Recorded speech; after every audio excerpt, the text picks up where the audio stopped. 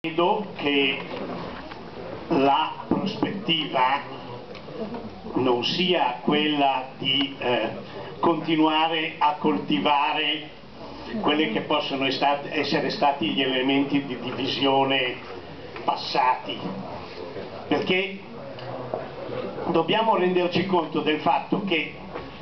le lotte ambientaliste vengono fuori anche sulla base di progressive conoscenze e di progressive consapevolezze. Questo forse vale un po' per tutte le lotte, però direi che specialmente nella materia ambientale, noi per esempio da due mesi sappiamo con assoluta certezza, prima c'erano certamente dei sospetti eccetera, ma con una certezza, non dico assoluta perché non è ancora nemmeno assoluta, ma molto maggiore di alcuni effetti dei PCB, perché alcuni ci dicevano che i PCB erano eh, innocui, altri dicevano sì però non lo sappiamo bene, altri dicevano no, guardate che non fanno bene assolutamente, eccetera. Perché? Perché purtroppo sono anche materie legate in qualche maniera alla, alla conoscenza scientifica, a tutta una serie di cose di questo genere.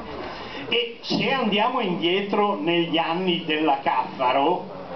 quando il PCB lo producevano, per esempio qual è stato il problema rispetto al quale noi,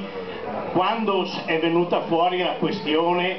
nel 2001 e ci siamo diciamo, interessati anche a livello giudiziario di questa storia. Lasciamo perdere perché la questione della Costituzione di parte civile è una marronata, scusate, è una cazzata giudiziaria, cioè dal punto di vista giuridico, perché no, anche Legambiente che io rappresento si era costituita, ma non parte civile, perché non si poteva, si è costituita parte offesa e perché abbiamo cercato di metterci il naso dentro. Però lì, anche lì,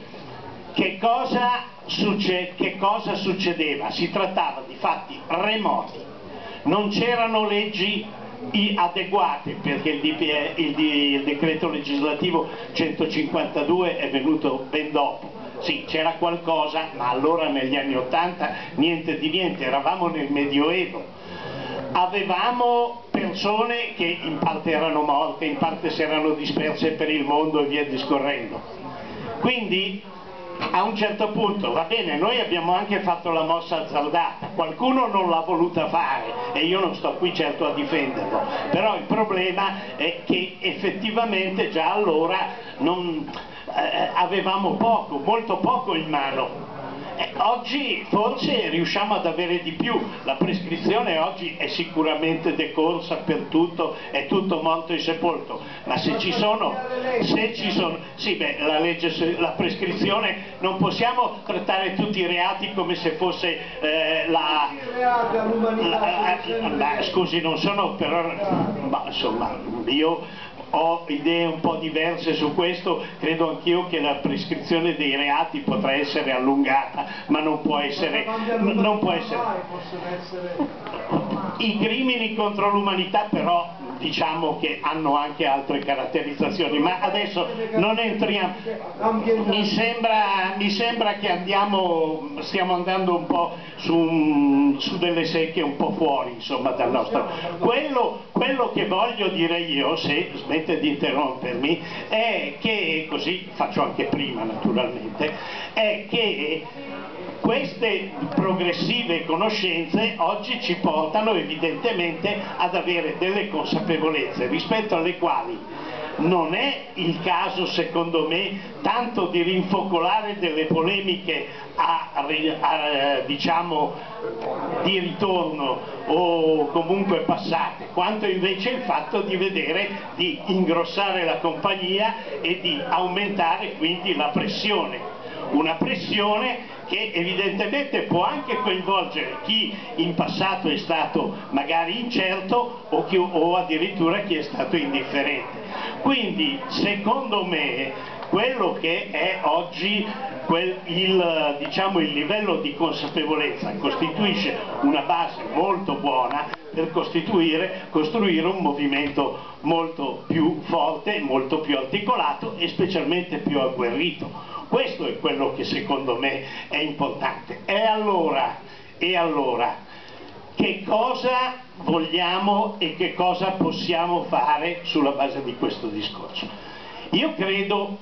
che, non sono del tutto d'accordo sulle considerazioni per esempio che faceva Marino prima, perché è vero che il Ministero dell'Ambiente ha dei grossi tecnici importanti, però è anche altrettanto vero che il Ministero dell'Ambiente poi copre tutto con la sua cappa burocratica e rallenta ulteriormente i tempi. Oltretutto impedisce un, anche un certo tipo di operatività a livello locale. E allora se noi invece, come è stato detto nelle ultime battute che hanno preceduto il mio intervento,